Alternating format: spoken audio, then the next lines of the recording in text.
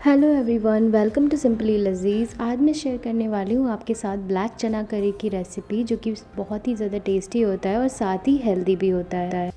और आप इस चने को अगर इस तरह से बनाएँगे तो ये बहुत ही ज़्यादा टेस्टी बनेगा। तो चलिए अब रेसिपी देख लेते हैं।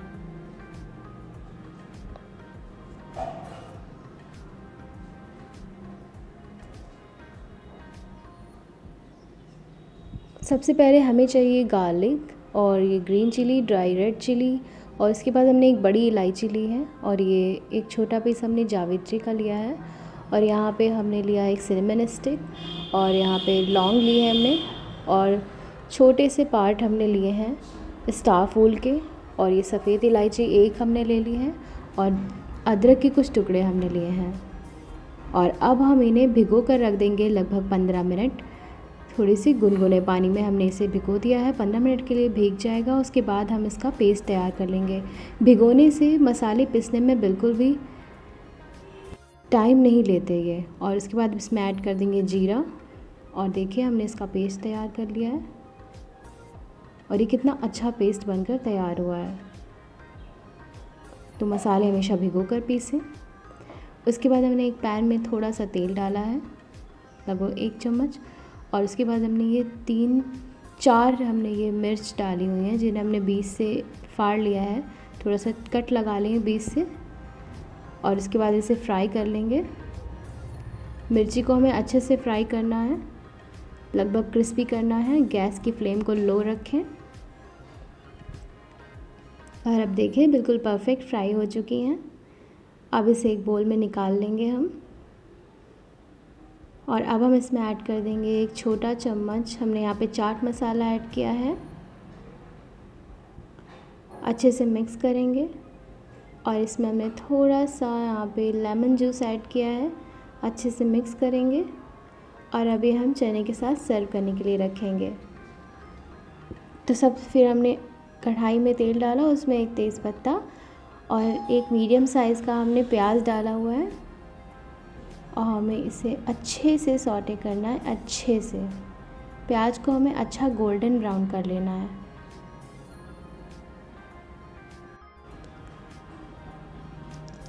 इसी तरह से प्याज को हमें अच्छे से बिल्कुल लो फ्लेम पर गोल्डन ब्राउन करना है। और अब हम इसमें प्रिपेयर्ड मसाला ऐड कर देंगे, जो भी हमने अभी बनाया था। और इसको भी हमें अच्छे से भूनना है। और यहाँ पे हमने ऐड कर दिया एक मीडियम साइज़ का टमाटर और एक छोटा चम्मच हल्दी पाउडर दो छोटे चम्मच धनिया पाउडर और ये हमने ऐड किया एक छोटा चम्मच काश्मीरी रेड चिली पाउडर इससे कलर बहुत अच्छा आता है और नमक आप अपने टेस्ट के अकॉर्डिंग डालें और इसके बाद यहाँ पे थोड़ी सी हींग हमने ऐड करी है। चने में भी नमक होगा बॉईल करते समय तो आप थोड़ा कम ही नमक डालें यहाँ पे। अब हमें इसे अच्छे से मिक्स करना है। मिक्स करके हमें इसे अच्छे से भूनना है। बिल्कुल जब तक कि इसमें से तेल अलग ना हो जाए, तब तक कि हमें इसे भूनना है। थोड़ा सा पानी हमने ऐड किया था मसाले में। पानी ऐड करने के बाद में हम इसे अच्छे से भून लेंगे। अभी अच्छे से भुन चुका है।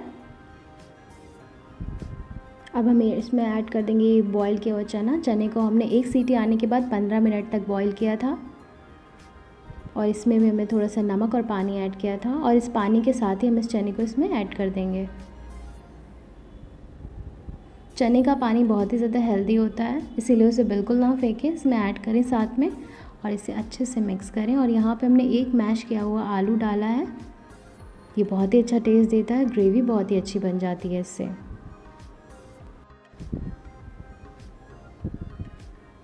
अब इसमें ये मैश किया हुआ चना डालेंगे। थोड़ा सा चना निकाल के हमने इसे अच्छे से मैश कर दिया था।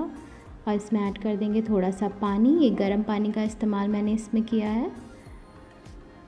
ठंडे पानी का यूज़ ना करें। गर्म पानी का ही यूज़ करें। अब देखिए ग्रेवी एकदम परफेक्ट बन गई है। और इसमें ऐड किया हमने एक छोटा चम्मच कसूरी मेथी। इसे मिक्स करें। अच्छे से और ये भी सर्व करने के लिए बिल्कुल तैयार है। आप देख सकते हैं कितना अच्छा कलर इसमें आया है। और अब हम इसे चावल के साथ में सर्व करेंगे। आप चाहे जीरा राइस के साथ में भी सर्व कर सकते हैं। तो आप देख सकते हैं कि कितना ज़्यादा अच्छा लग रहा है देखने में और मिर्ची के साथ इसे सर्व करेंगे। Like share and subscribe